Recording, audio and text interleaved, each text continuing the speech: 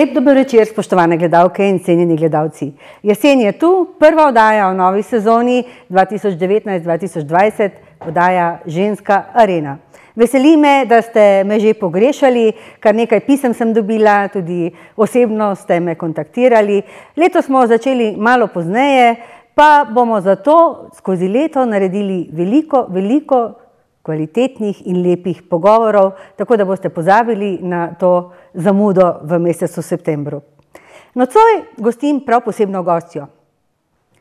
Komunikacija, odnosi, vezi med ljudmi in vse tisto, kar se nam na prvi pogled danes, ko pogledamo neko splošno vzdušje v naši deželi, zdi skrhano.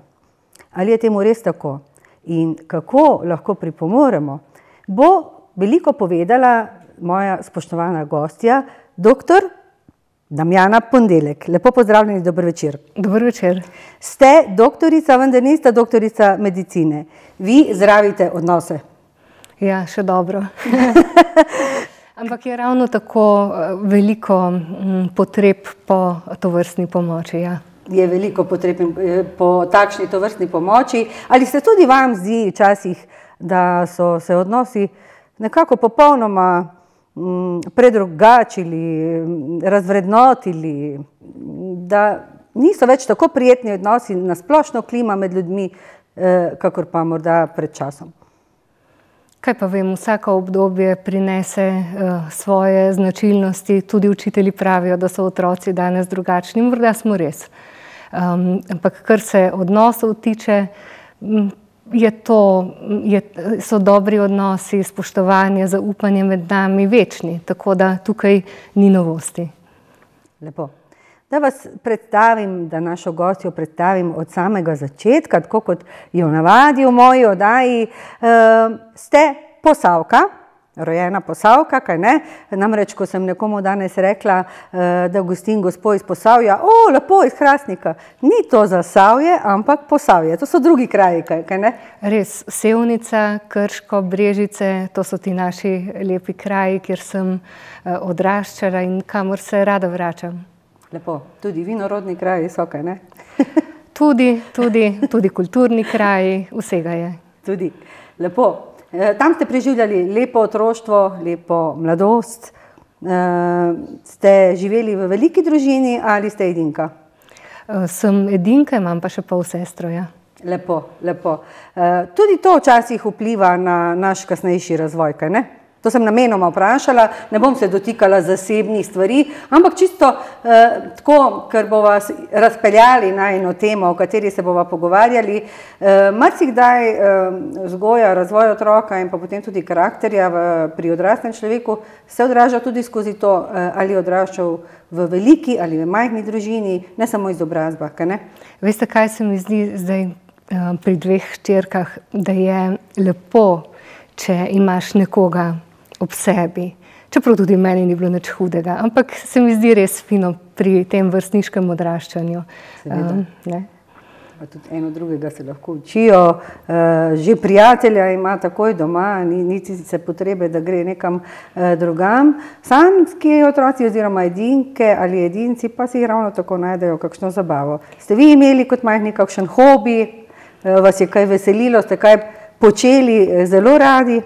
Mi edinci imamo pa starše čisto zase, je pa tudi prednost. Um, ja, ko sem bila mala, sem predvsem rada brala, um, pa poslušala radio in je to nekako uh, tlakovalo mojo pot bolj na tem družboslovnem in ne naravoslovnem področju.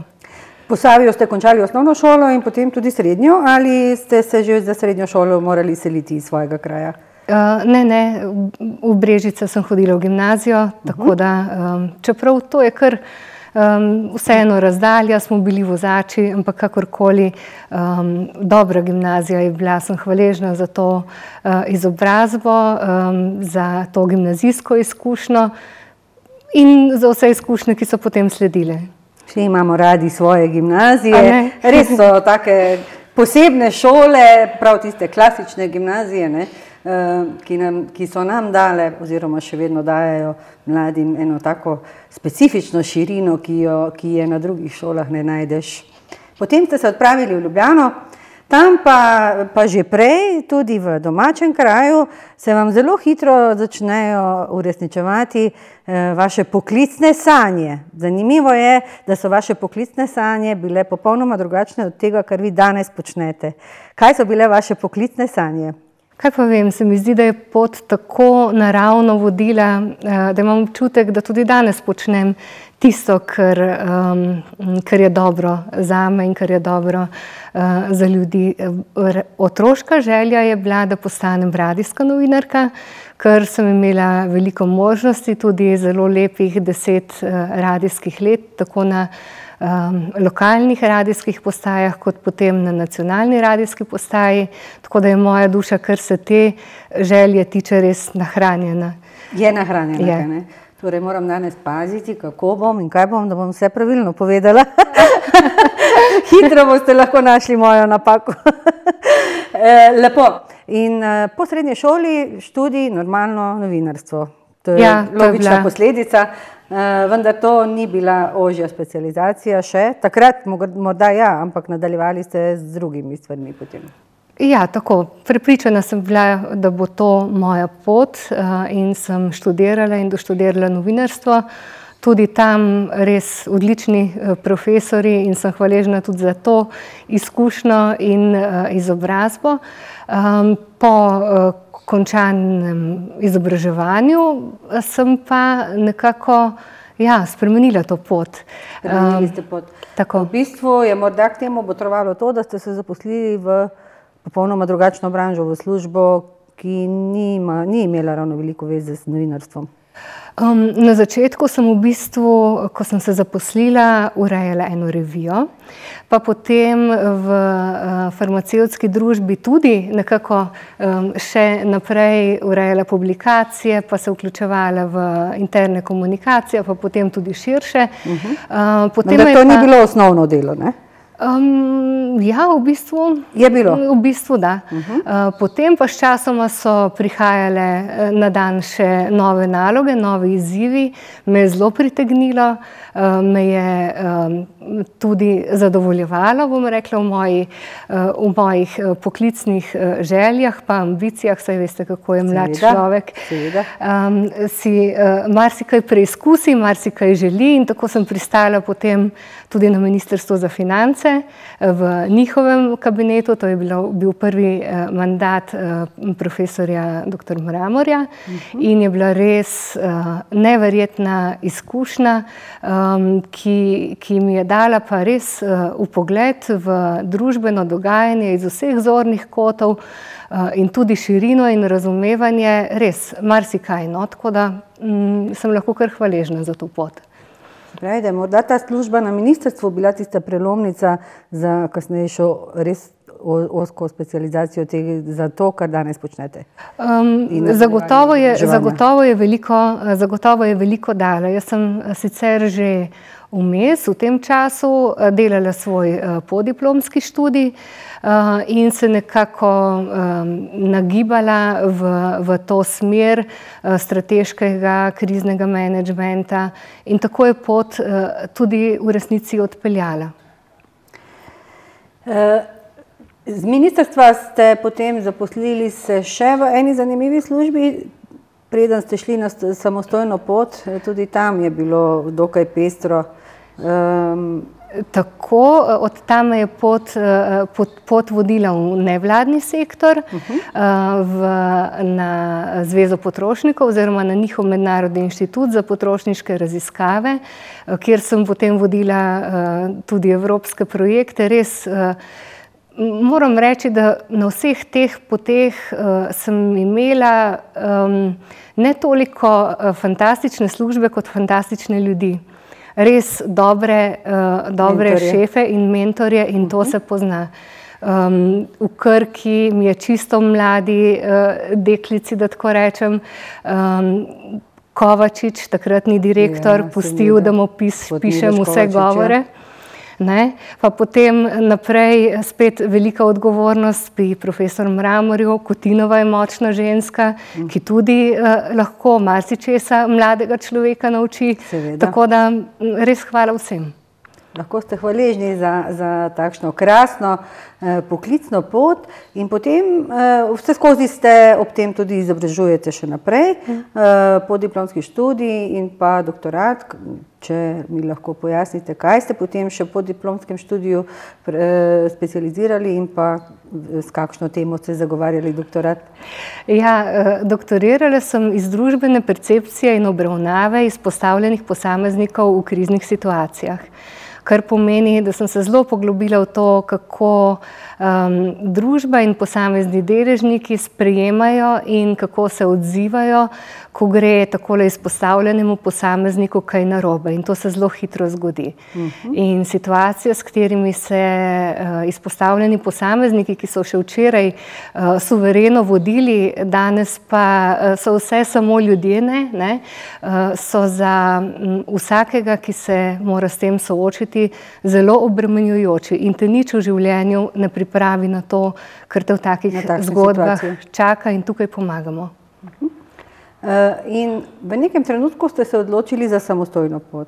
Kaj je temu botrovalo, na kak način, eh, in pa glede na vse skupaj v, pri nas, glede na nek eh, negativen prizvok samostojnega podjetništva ali delo, ne glede na obliko podjetja, se relativno mladi odločite za takšno pot, ki pa jo potem zelo uspešno vodite že toliko in toliko let. Kaj je botrovalo temu?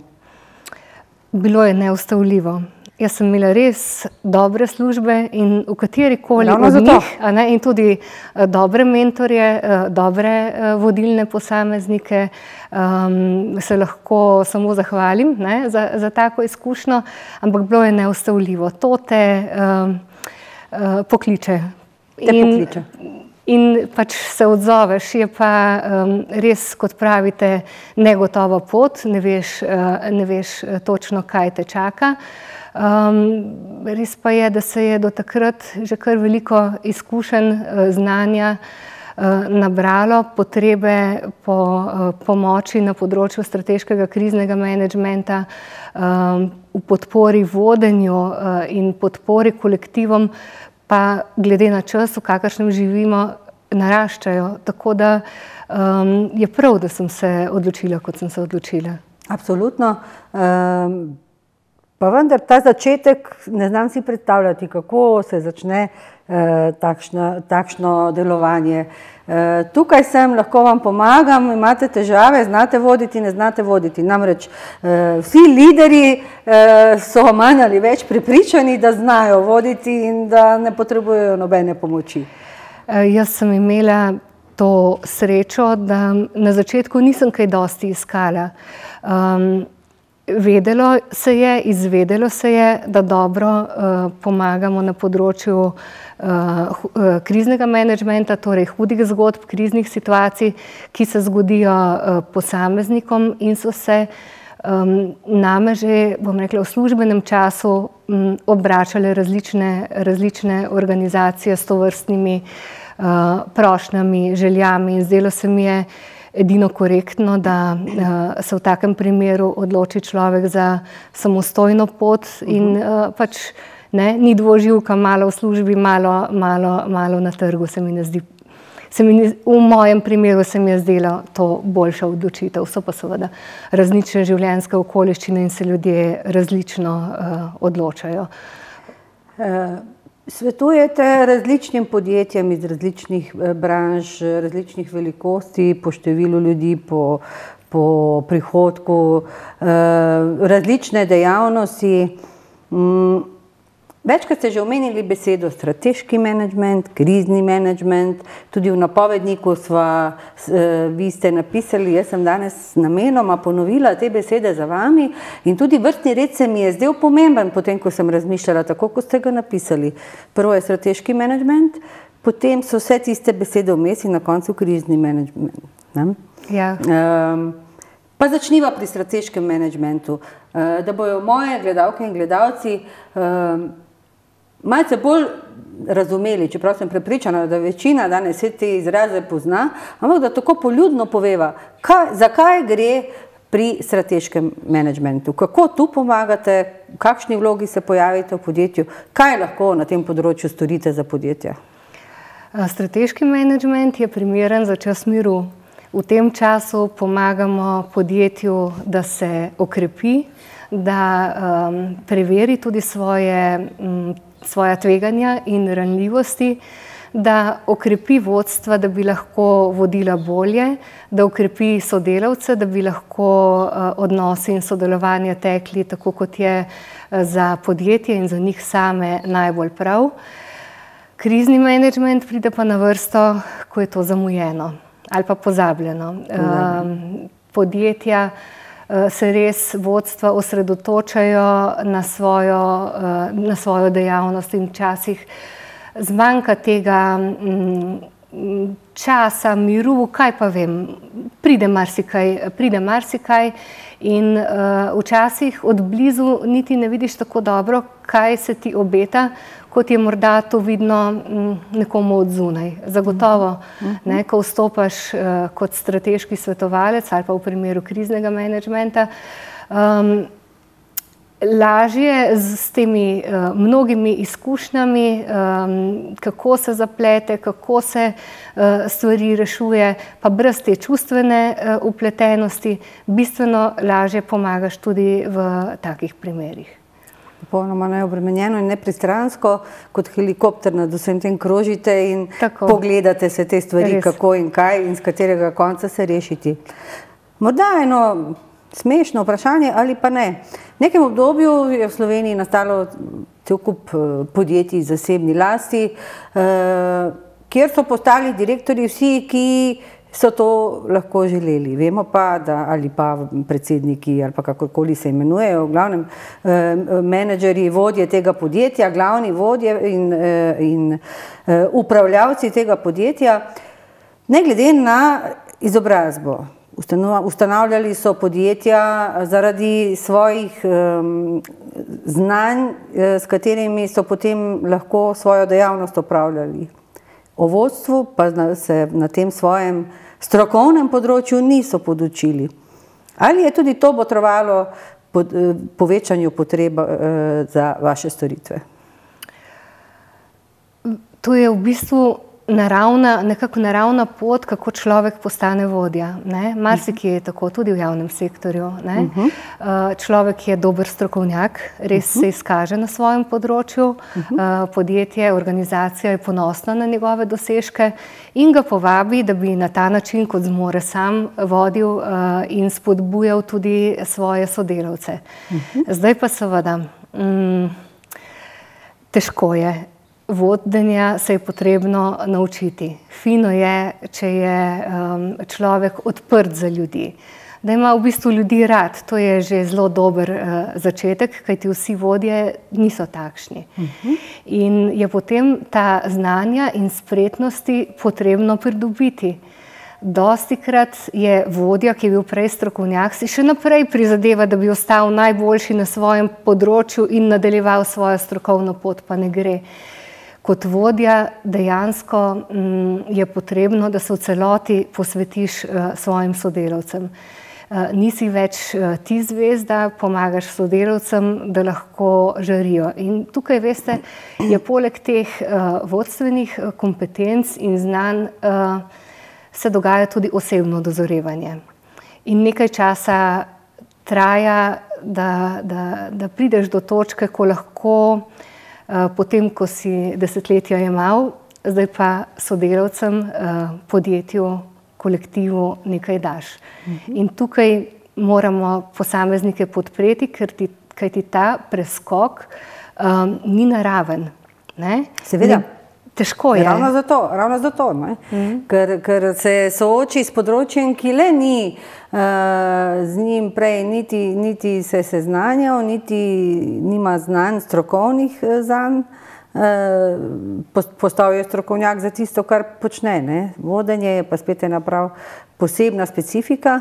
Uh, čeprav obstajajo tudi kontra situacije, o tem bova še kasneje.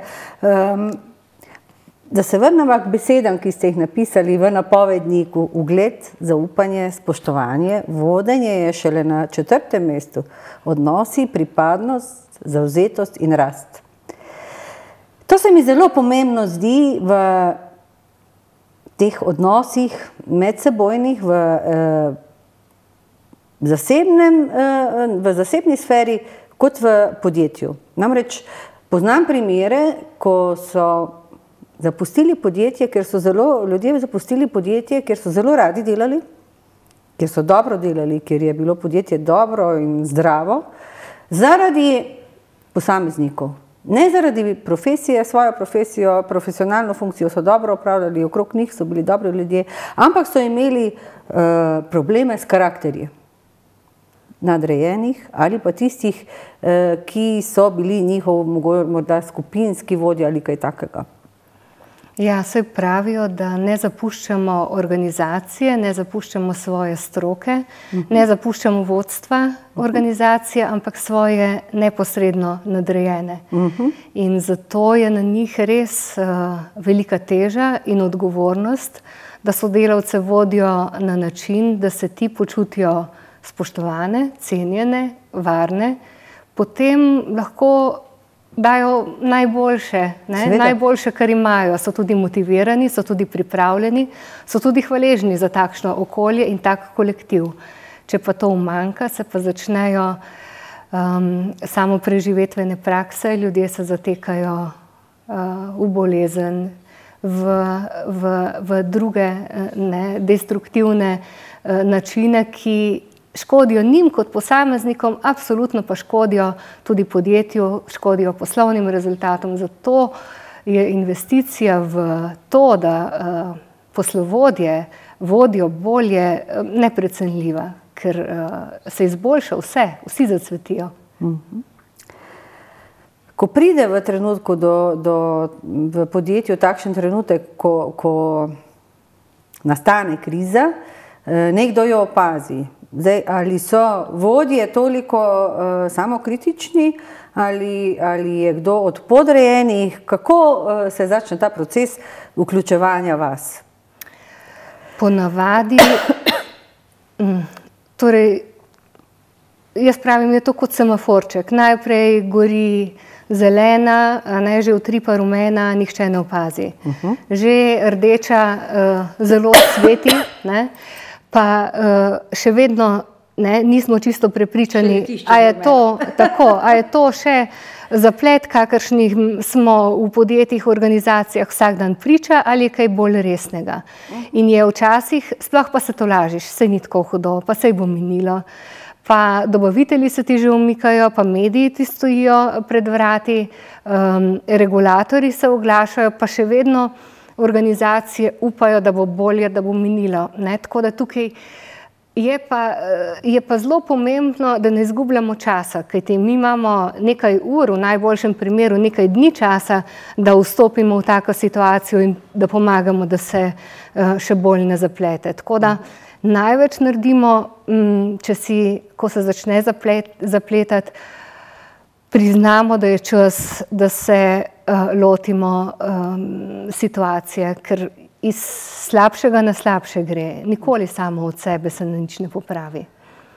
Se pa zgodi, da se ta opozorilni znaki in ta kri, eh, prehodni čas, eh, ko pa nastane krizno obdobje, eh, spregleda namenoma ali ne, kakorkoli, najtežje si je priznati resnico in se soočiti z njo, potem pa nastopite vi kot krizni menedžment. No, svetovalec vodstvom na tem najtežjem uh, področju, ne, ki si ga nihče ne želi. Uh, za katerega vsak upa, da ne bo nastopilo. Ampak, gledajte, eh, je ni tako hude situacije, sploh če se srečamo mm, kolikor toliko pravočasno, da ne bi mogli pomagati organizaciji, vodstvu, kolektivu, vsem. Se upravičujem. Eh, pridete v podjetje, Kaj je vaša prva stvar, ki jo, ki jo na nek način, kako se je lotite in pa kako veste, kaj je tista prava stvar, ki bo pa temu, ravno tista stvar, da bo ta pomagala temu podjetju, da bo izplavalo iz krize, v kateri je trenutno. Uh, izkušnje uh, prinesejo, uh, prinesejo ta spoznanja in, in znanja. Uh -huh. uh, po 15 letih vsakdanjega soočenja s situacijami, ki podjetja spravljajo v grozo, ne, um, veš, razumeš, eh, kje je potrebno začeti in kako vodstvo, eh, kolektiv, eh, podjetje kot tako popeljati skozi te čeri. Ne. Najprej rabimo vse karte na mizi, da ni presenečen. Je čas za iskrenost, je čas, da pogledamo, kje smo ta trenutek in kako bomo, kako bomo šli naprej. Če se je um, v tej krizni situaciji komu kaj hudega zgodilo od deležnikov, je to absolutno prioriteta, da ustavimo to nevarnost, da ustavimo to neustrezno stanje, odnos, odvisno od, od situacije, ki jo imamo. Ne? Najprej dejanja, potem pa besede, čas za komunikacijo. Vem, da vsi čakajo, ne, da kaj rečemo, ampak najprej moramo uh, stvari postaviti nazaj na svoje mesta, um, prinašati mir in zagotovila, in to uh, ustrezno zagotovila vsem našim deležnikom, ki se počutijo prizadete, uh -huh. potem pa lahko uh, komuniciramo, potem pa lahko povemo. Kako pa lahko kaj, nekdo kako? zagotovi, da se bo odnos med nama popravil? Jaz sem delodajalec in moj zaposleni, kako lahko jaz to zagotovim vam? Um, potrebno je sprejeti ustrezne ukrepe, sam od sebe se popravil ne bo. Če je težava vodenja, bomo vodstvu dodali nekaj teh um, ustreznih znanj. Če je težava v karakterih, uh, ki so za podjetje uh, pogrešljivi, se od takih posameznikov kdaj tudi žal uh, moramo uh, posloviti. Ne? Ni pa to prvi ukrep, da bi rezali glave, ker, je, um, ker potem bo seveda zmanjkalo ljudi, tem, ki, so proces, ja. ki, ki so pripravljeni voditi in je, in, je, in je najbolj pomembno, da pogledamo, uh, kje je dejansko prišlo do, do zdrsa in kaj lahko Eh, kaj lahko v smislu sistemskih sprememb in izboljšav potem skupaj naredimo, da se, da se to popravi. Včasih so odnosi, včasih se podjetje uh, znajde v, krizni situaciji zaradi nespoštovanja regulatornih uh, zahtev in se je potrebno tukaj nekje sinhronizirati s tem, kar se uh, od uh, podjetja pričakuje. Včasih šepa kakovost. Um, nič človeškega ne, uh, ni, nam ni tuje v, v takih zgodbah in nič organizacijskega tudi ne. ne. Srečujete se z razno raznimi problemi in problematikami. Um, Kaj pa je naprimer v, v primerih, ko je podjetje znano in se dejansko pelje že nekakšna afera okrog vsega tega, zaradi česar, se, eh, zaradi česar imajo problem tudi v podjetju. Um, sploh medijska izpostavljenost, vemo, da pri nas je sedaj zelo moderno eh, preko medijev udrihati, eh, kolikor se le da in kogar se le da. Kako je s tem? v kriznem menedžmentu in kako ravnate v takih primerih? Oziroma, kako svetujete? Ko se zgodi huda zgodba, so mediji vedno zraven, že iz naslova svojega poslanstva in interesa, in enako je zelo hitro zraven tudi politika. To je potrebno sprijeti, razumeti in profesionalno uh, delovati v odnosu do vseh, ki. Uh -huh. um, prvič kličejo na pomoč ali pa kot govorom, eh, ki potrebujejo eh, pojasnila, eh, sej potrebujejo jih najprej naši zaposleni. Tudi z njimi se je potrebno najprej uh -huh. pogovoriti in uh -huh. dogovoriti. Res pa je, ker, ker tudi razumem iz vašega vprašanja um, neke afere ne, in neke, neke zgodbe, ki morda niti nimajo eh, realne osnove, pa se podjetju vseeno zgodijo, se znajde pod uh, plazom obtožb. Tudi Tako. v tem primeru ravnamo enako. Ne? Kaj ti zdaj, a si ti uh, kot podjetje um, odgovorno za nastalo situacijo ali morda ne, to v danem trenutku nikogar ne zanima.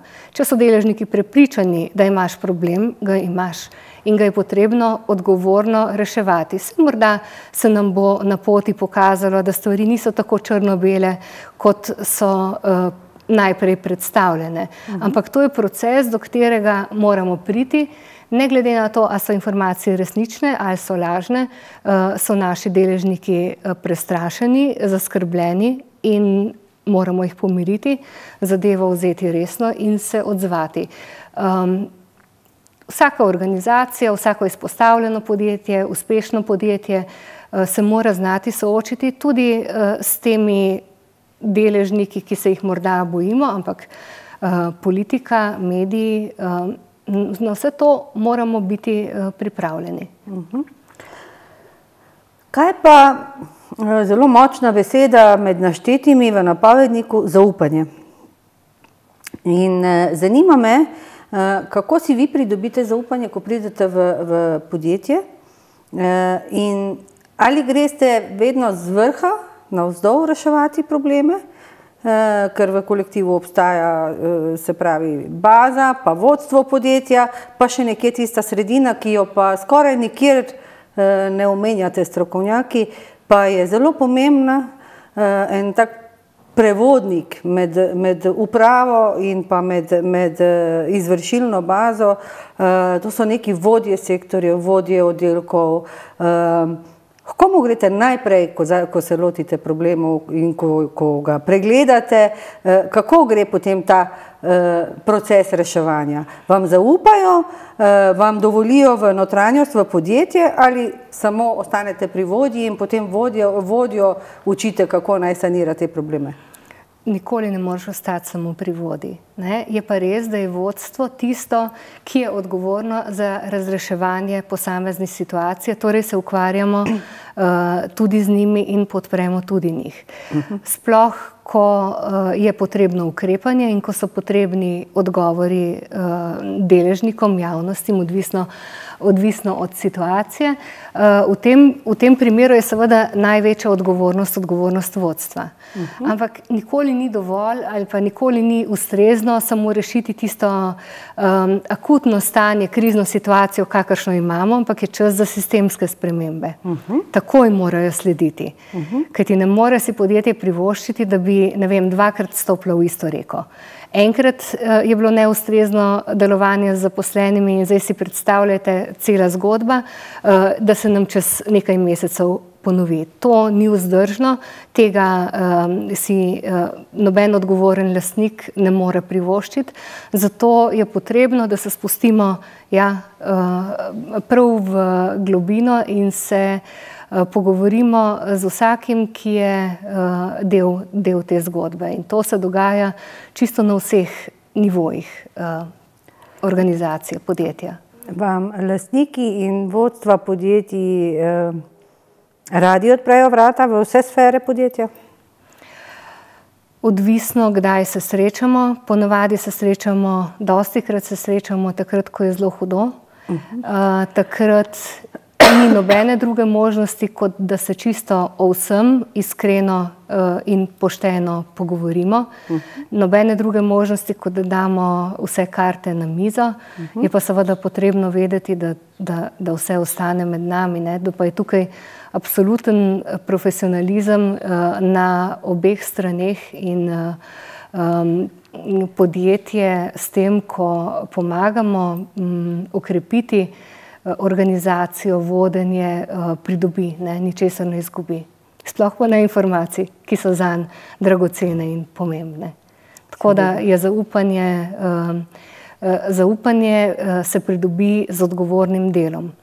In enako kot mi v odnosu do podjetij, v katere vstopamo, delujemo um, odgovorno, ne? enako potem pomagamo podjetjem, vodstvom, da delujejo odgovorno do um, vseh, ki jim zaupajo, ki upajo, da bo podjetje delalo dobro. In teh je veliko, kajti veste, to cele lokalne skupnosti živijo, um, živijo ker, in bolje živijo, če gre uh, podjetju bolje. Tako da nikomor ni vseeno, ko vstopamo v kakšnih kriznih situacijah, vidiš, kako, je, kako so zaposleni povezani in navezani na podjetje, kako jih skrbi, kako želijo na vse načine uh, pomagati, da bi, da bi bilo bolje.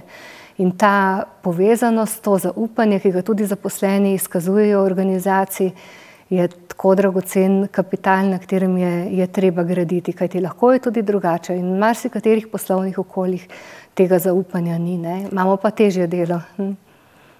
Povezanost, pripadnost, sta to različni stvari? Ja.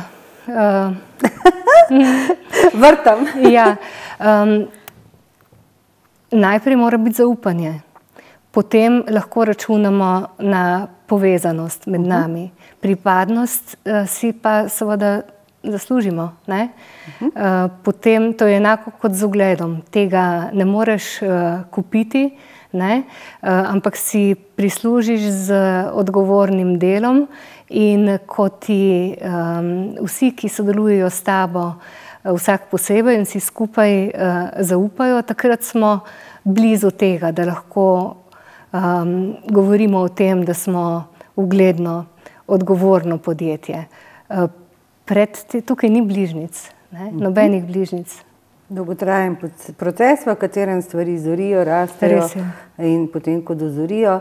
Uh, v tem procesu so zelo pomembni kadri, uh, tudi kadrovanje je ena od umetnosti, ki tudi lahko vpliva na odnose. Res. Ali gre za kadrovanje zaradi eh, uslug nekomu, ali gre za kadrovanje zaradi eh, namestitve strokovnega človeka. Eh, tudi to so lahko eh, razlogi za krize v podjetju. Res, eh, čeprav pri izvoznih podjetjih, s katerimi kar veliko sodelujemo, eh, moram reči, da, tega, eh, da si vsak želi, kaj ti tekmujejo na svetovnem trgu, tukaj ni prostora za blef in uh mhm. -huh. poskušajo pridobiti strokovnjaka, ki bo res pripomogel kolektivu. Uh -huh. Pa ne samo strokovnjaka, tudi človeka, ki bo znal ravnati ne, eh, sodelavci, ne glede na to, na katerem in na kakšnem položaju je. Tako, Tako da tukaj je, bom rekel, teh uh, odnosnih težav uh, nekoliko manj, v resnici manj, zaradi tega, ker vsak, vsak porušen odnos pomeni uh, slabši poslovni rezultat. Uh -huh. Uh -huh. Seveda pa v javnem sektorju ne, je, pa, je pa morda ta bolečina in dejansko je ta bolečina nekoliko, nekoliko večja ne, in uh -huh. bolj izražena in potrebujejo tukaj še več uh, podpore, da bi lahko sodelovali med seboj in nekako uh, delovali. Se v javnem sektorju tudi lotijo te problematike, da vas pokličejo na pomoč? Mm. Ponovadi, ponovadi se srečamo v um, zaostrenih situacijah, uh mhm. -huh. kjer uh, smo že priča vsem tem eh, pritiskom, o katerih smo prej govorili. Razumem. In je um, organizaciji absolutno v interesu prvič, da se vrne mir. Ne? Uh, in drugič, da morda poskusimo na način, da se nam take zgodbe ne, ne ponavljajo. Ne? En tak primer, eh, zelo tragičen in žalosten je, če bi se takrat te stvari, teh stvari lotili na način reševanja s pomočjo vašega podjetja ali pa strokovnjakov podobnih uh, vam. Primer ravnatelja, ki si je vzel življenje zaradi pritiska javnosti. Takrat, po moje, če bi se tam v tisti šoli malce drugače odnosi, eh, ne moremo vedeti, ne moremo soditi. Ampak je to en tak primer, eh, kako daleč lahko take stvari pripeljejo, če se ne rešujejo in če se ne pokliče pomoč, tudi to vrstno. To so tragični primeri. Ta primer Res skrajni in tragični. Ni pa osamljen. Eh, mnogo takih zgodb je še sledilo, ki niso bile medijsko izpostavljene. Uh -huh.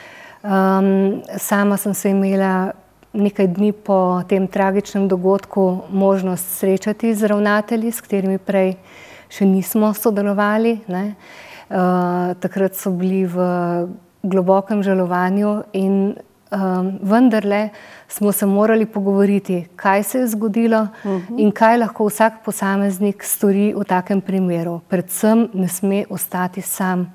To so taki pritiski na človeka osebno, na njegovo družino. Uh, vse se ruši, zgleda, da ni nobenega izhoda, ampak tudi iz takih situacij uh, se, najde, se najde pot. Res pa ne gre, najde se neka pot. Ne gre brez strokovne pomoči. Zato v, v, v takih uh, situacijah, takih primerih ne smemo čakati, da se tako zaplete, da človek uh, niha med upom in obupom. Um, meni je zelo dragoceno, da se srečamo, se srečamo prej. Marsikaj je mogoče postoriti, pa tudi organizacije in posamezniki lahko, eh, posamezniki lahko ohranijo ta duševni mir, ker to so pač siloviti pritiski in eh, ne smemo čakati, da, da, da pride do njih. Seveda, zruši se, poruši se vse. Od eh, odnosov v delovnem okolju do osebnega zdravja, psihičnega in telesnega, pa še marsikaj drugega. Mm. To so velike posledice lahko. Kako, no, to je zdaj tako verjetno težko odgovoriti, ampak kako dolgo traja ta proces vaše pomoči v podjetju, da, da jih potem v neki fazi pustite same uh, in ko zaključite svoje delo, še vedno ostanete v stiku in še na nek način koordinirate oddaleč ali kako to sploh, ne znam si eh, predstavljati, kako prakti, praksi to sploh izgleda.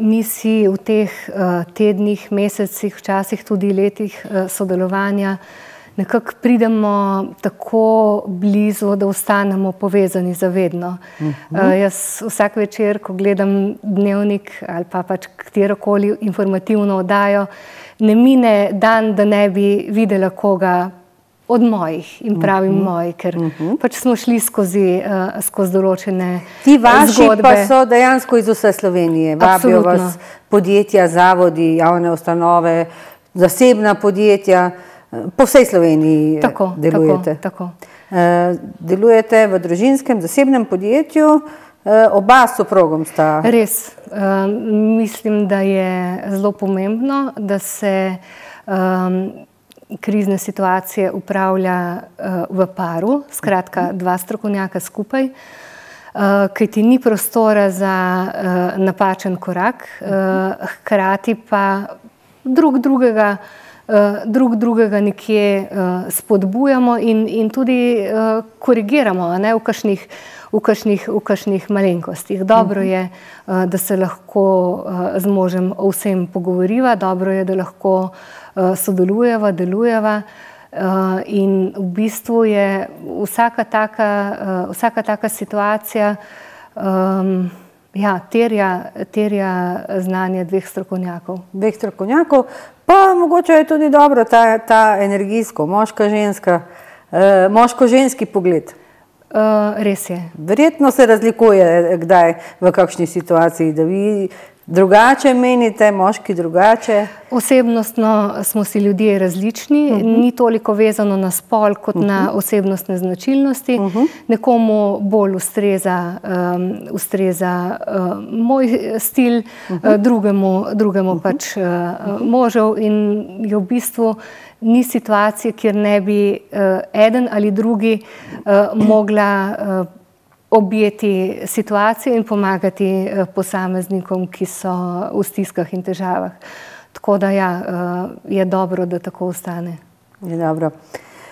Učinkovito vodenje in upravljanje sprememb, to je pa potem na uh, Nadaljevalna šola. Nadaljevanje, nadaljevanje te, te zgodbe, eh, ki ste jo v, nekem, v neki sredini zaključili, in potem ta management in pa seveda sodelavci eh, naj bi eh, tako delovali, kot ste jih naučili.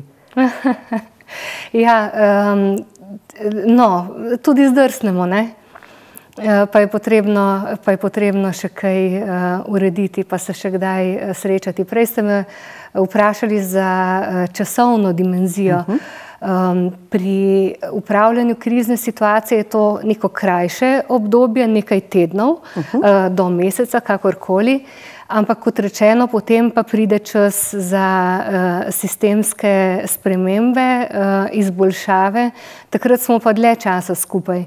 Tako da v dveh, treh letih se pa tudi marsikaj postori in je to čas, ko spremembe zaživijo, ko ljudje uh, kdaj tudi prevrednotijo vrednote, um, sprejmejo drugačen uh, način delovanja, sodelovanja, vodenja. Tako da, ko po tem času zapustimo uh, organizacijo, podjetje, um, smo mirni. Uh -huh. Jaz vem, da bodo zmogli in zmorejo. Če se pa še kje kaj zaplete, pa lejte, kot pravim, ostanemo povezani zavedno in smo samo en klic stran. Tako da, um, tako. Eh, me pa vseeno zanima še, um, ko vsta proces urejanja problemov, se pravi dela kriz, kriznega menedžmenta, uh, traja. Ali ste vi kot sodelavka prisotna v tem podjetju in hodite od sektorja do sektorja oziroma eh, se uživite v ta kolektiv ali je to samo korespondenčna zadeva Mislite, in, in če rešujemo po mailu? Ni tako. Ne gre, ne? Ne, ne. Mi dva kar postaviva šotorček pred eh, podjetjem, uh -huh. eh, mal karikiram, ampak kakorkoli, vsak dan, ko je krizna situacija, smo vsa, sva vsak dan od jutra do kadar je potrebno z njimi, sploh v fazi, ko je zelo težko, ko so soočeni z različnimi pritiski, ko je potrebno pripravljati ukrepe, odzive, smo vse čas uh, s podjetjem, v podjetju, uh, z njimi in tudi, ko zvečer odideva domov, če je karkoli potrebno, lejte, ni, sploh ni vprašanje. Ko je pa čas za sistemske spremembe, se pa tudi vidimo vsaj na tedenski ravni. Tako da so te stvari intenzivne in zato so lahko tudi učinkovite, zato tudi lahko prinesejo rezultate uh mhm. -huh. in zato lahko po, po, po tem času, ne vem, eh, nekaj, nekaj letnega sodelovanja eh, podjetje beleži dobre rezultate. Vsi, ki, s katerimi smo sodelovali tako ali drugače, so danes med med najboljšimi podjetji, najboljšimi izvozniki in, in sem lahko samo vesela in hvaležna, da je tako. So to tudi, um, delno tudi vaši otroci, ta podjetja oziroma njihovi uspehi? To so absolutno samo njihovi uspehi, mi pa zraven, uh, mi pa zraven uh, pripomorem, pripomoremo. Da so znali najti pot do tako, njih. Tako, absolutno Krasno. je pa je vsa energija in moč že v njih samih od samega začetka. Čudovito.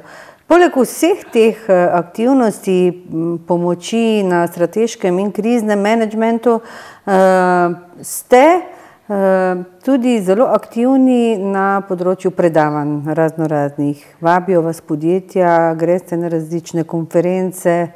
Še malce o tem poveste. Vem, da ste ravno pred kratkim nekje na Celskem bili, oziroma celsko podjetje nekje na, na Gorenskem, da ste zelo dobro predavanje imeli. Uh, ja, mislim, da je pomembno, da o teh stvarih govorimo, uh -huh. uh, da znanje najde pot. Mi imamo to izkušnjo, ki je dragocena, ker podjetja spremljamo v res težkih situacijah, točno veš, kje se bo zapletlo. Ni potrebno, da vsakdo stopi v isto luknjo. Lahko si tudi kaj podelimo, seveda ne konkretnih zgodb, ampak principe in načine delovanja in pri tem pomagamo. Tako da, kadar imam le možnost s takim vabilom v kolektive, organizacije, pa tudi na taka srečanja, kjer, kjer se pa zbere uh, več podjetnikov, zadnji dogodek je bil. Um, v, uh, na Brdu uh, z bonitetno hišo Bisnout, ker uh -huh. uh, veliko in dobro sodelujemo. Uh -huh. uh, tudi sami, bom rekel, smo bonitetno, um, izkazujemo to bonitetno odličnost. In je, in je prav, da nekaj tega znanja in izkušenj damo nazaj tja, kjer smo ga dobili. Lepo, čestitam. Tema je takšna, da bi lahko mi dve se pogovarjali še dva, tri dni. Eh, pod vprašanjem in vprašanjem imam še veliko, vendar jih bom morala eh, odložiti in preložiti za kakšno drugo priložnost. Žal se je čas najnega pogovora iztekel. Iskreno sem hvaležna za vaš obisk. Uh, upam in želim si, da narediva kdaj v celju kakšno okroglo mizo v živo. Zadajva si za projekt. Tako. Eh, namreč eh, veliko žensk je eh, na vodilnih in vodstvenih eh, delovnih mestih. In to je tema, ki me zelo zanima. Eh, vem, da imajo nekatere tudi težave, pa se morda ne bi izpostavile, ker še ni krizno, ker, ker še niso menili tisti trije dnevi. Ah, moramo se srečati, predno se zaplete. Tako, je. tako. Eh, Zato obljubim tudi našim gledalkam, seveda tudi gledalcem, eh, da bova nekako na nek način v prihodnosti skupaj organizirali eno takšno srečanje z vašimi tematikami, ki jim bodo, verjamem, radi prisluhnili in direktorji in direktorice, pa tudi vsi ostali, tudi zaposleni morajo slišati včasih, kaj vse vedo in kaj ne vedo naši vodstveni delavci. Za vaš obisk se iskreno zahvaljujem, želim vam srečno pot in vse vaše poti tudi v prihodnje. Podarjam vam en zanimiv rokovnik, sicer že gre proti koncu leta, ampak boste O. prihodnje leto lahko dobili novega. Prav. Namreč eh, moje leto 2019 in so take krasne rubrike in nasveti notri, eh, da si boste lahko z njimi pomagali na vseh vaših poteh. O, krasno. Uh, še eno malenkost za vas, za vaš osebni praznik. Sem počaščena, da sem bila prva gostja po tej lepi obletnici in še enkrat vse najboljše. Iskrena hvala. No, hvala lepa. Imela sem osebni praznik in me je gospa Damjana tako lepo presenetila. Od srca hvala, sem ganjena in ostaneva tudi medve v kontaktih in šele narediva kakšen management, pa naj bo strateški, da ne bo krizni. Tako. Hvala lepa za povabilo uh, in lep pozdrav tudi vašim poslušalcem. Hvala vam. Spoštovane gledalke in cenjeni gledalci, končal se je prvi del oddaje. Namreč z novo sezono eh, začenjamo tudi z novo rubriko, ki sem jo v, na koncu prejšnje sezone napovedovala in sicer izziv naredimo nekaj zate. Sprejmi izziv, naredi nekaj zase. Po reklamnem bloku se mi bodo v studiu pridružile prav posebne dame. Ostanite z nami.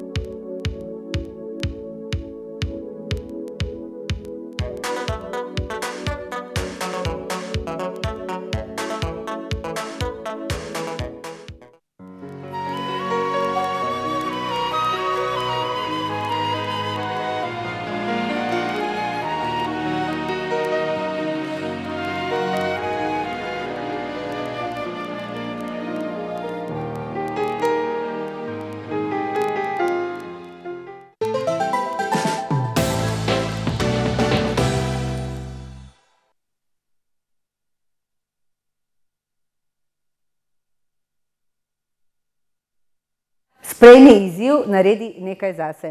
Kot ste opazili v drugi polovici, eh, oziroma v drugi polovici prejšnje sezone, smo pričeli z, z eno tako aktivnostjo, ki sem jo v bistvu sprožila na Facebook strani in eh, pozvala ženske, katerekoli, naj se prijavijo, da bomo storile nekaj zase.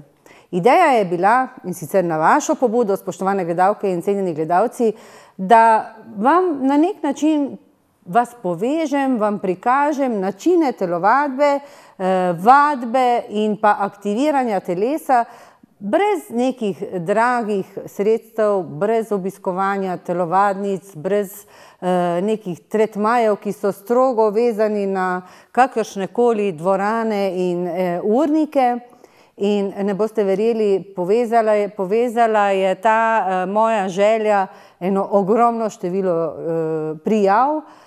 Prijavile so se ženske iz vseh koncev Slovenije, prijavilo se jih je več kot šestdeset in med temi šestdesetimi sem izbrala namenoma Celjanke različnih starosti. Nocoj so z nami tri.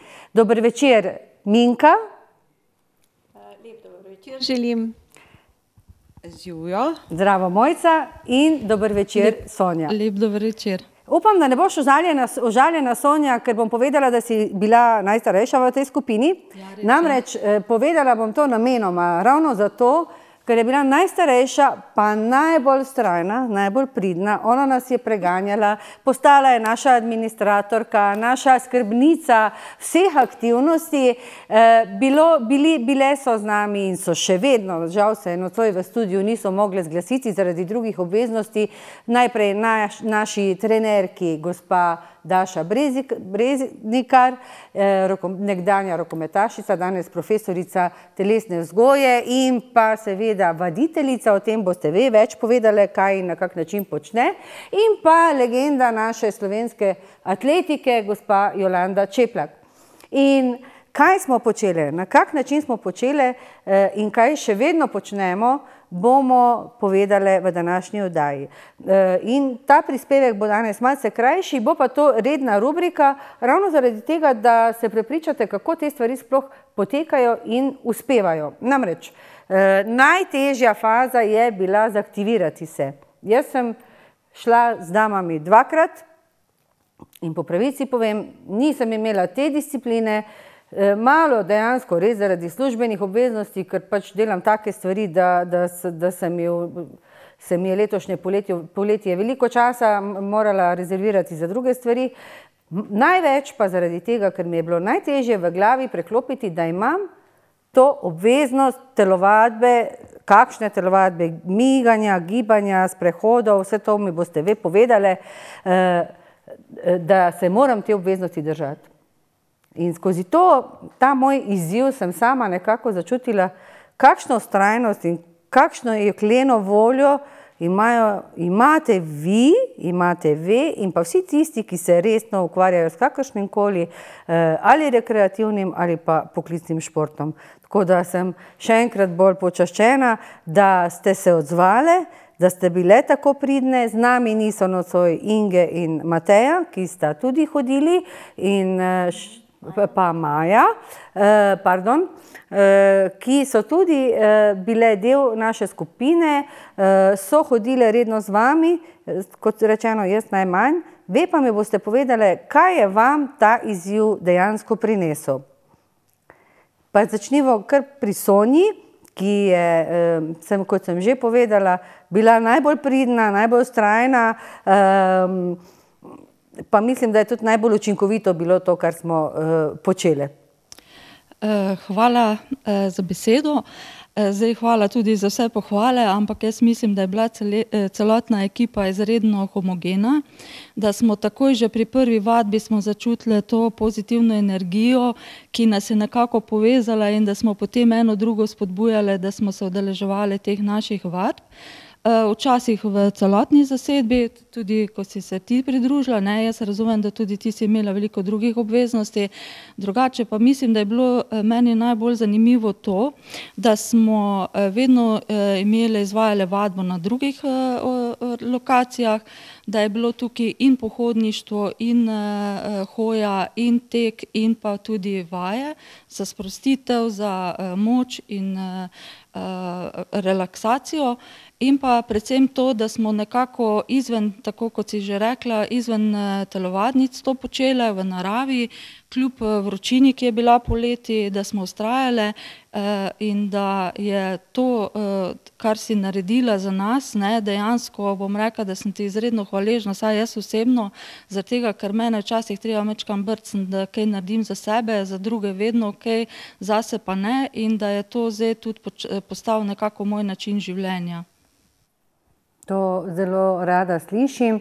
Eh, kot ste slišali, spoštovane gledalke in spoštovani gledalci, vse, kar smo počeli, je bilo to, da smo ali ste bile zunaj v naravi, s tem, da smo se vsakič našli na drugi lokaciji, ali smo pešačile, ali smo tekle, ali pa smo delale vaje, različne raztezne vaje, gibalne vaje. E, to boste, boš ti Minka povedala, kakšne vaje, kot nam jih je svetovala Daša. Imeli smo tudi vaje malce za tek. Ugotovili smo, saj jaz priznam zase, da naprimer Jolanda mi je povedala, me naučila, ker nisem znala teči.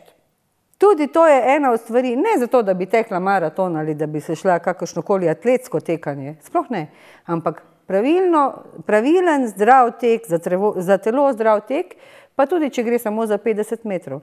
Druga stvar pa je bila tudi hoja po stopnicah, to pa nobena od nas ni znala. Tudi to smo se naučili. Pravilna hoja po stopnicah. Izvoli Minka. Ja, no, tudi jaz bi se najprej, seveda, tebi, Dragana, zahvalila, da si me zbodla s svojim zapisom, uh, da želiš en, ustvariti eno skupino, gibanje v naravi, in sem jaz rekla, evo, zdaj pa je tega dovolj. Tudi jaz želim uh, nekaj narediti zase. Po 50. letu, seveda, se je včasih težko predstaviti in narediš eno črto in rečeš, da je pa to to. In pravijo, da bo zdaj vse lažje. Uh, ja, ne, se je, se je, se je vse lažje, seveda je, vse je v glavi. Uh, tako da uh, moram reči, da sem izredno hvaležna, da sem se pridružila tej skupini, da se povsem drugače počutim, v sebi zadovoljna in srečna, včasih me res kakšne mišice bolijo, ampak to je dobro. Eh, tudi danes, a ne, eh, Sonja, danes mi prihajamo eh, iz vaj, iz treninga, pridne.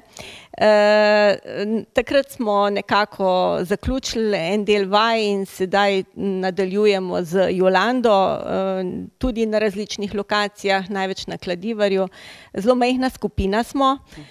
To pa zato, ne da smo želeli biti tako majhni, majhni skupini, ampak jaz mislim, da se ženske preprosto ustrašijo.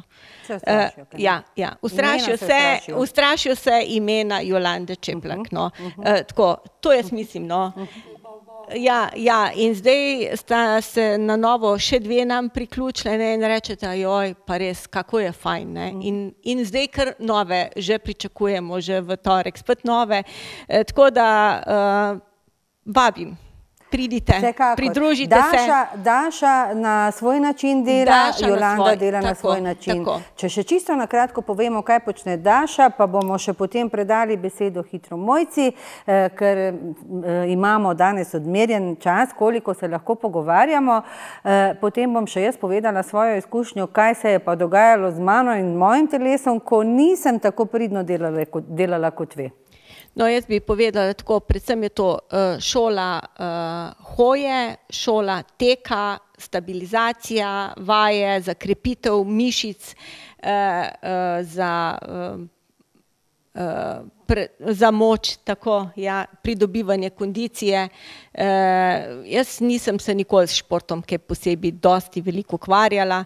E, zdaj pa moram reči, da sem ponosna, da lahko en krog, dva kroga pretečem na kladivorju ali pa prehodim, to je čist moja odločitev. Tako, brez prisile je vse skupaj. Brez prisile. Zato tako, je tudi meni tako. bilo všeč in, in mi še vedno je. Tako, in v bistvu se in prej Daša in zdaj tudi Jolanda, vedno ste se prilagajali vsaki posameznici in to je tudi ena velika prednost. Tako. Daša pa ravno tako.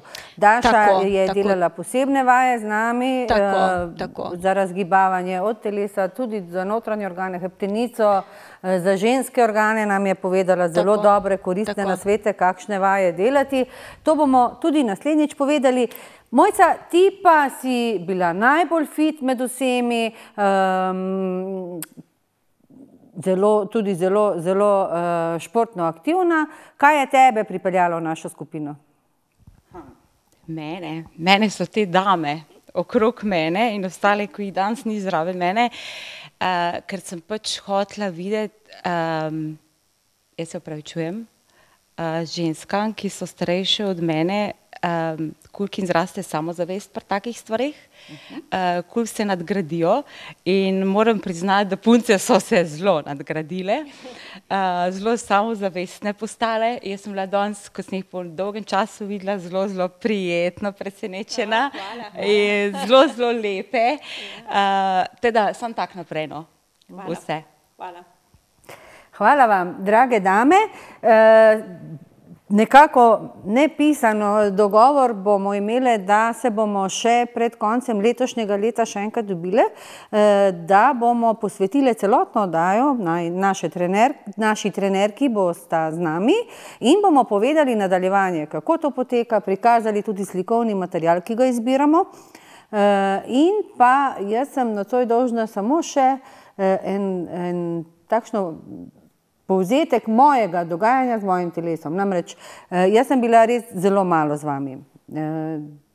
Letošnje poletje je bilo polno vsega, kadar ni bilo polno tega, sem pa počivala, ker, ker enostavno nisem zmogla več in nisem imela v sebi te discipline, da bi se stvari lotila tako, kot se se ve. Želja je bila, premaknila se nisem. To se pravi, da bi rabila dejansko enega, da me doma rito brcne, ne samo premajhna želja.